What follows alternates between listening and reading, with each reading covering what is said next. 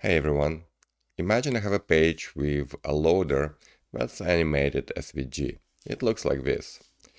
It rotates for a couple seconds and then the code says yeah loaded and removes SVG. Here's how we can validate this.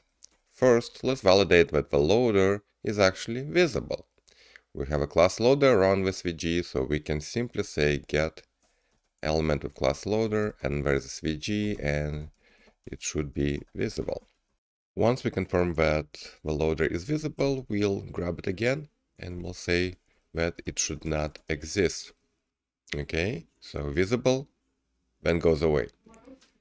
And just to be sure, we want to check that the new element appears. So we'll say cy contains loader with text loaded. Perfect.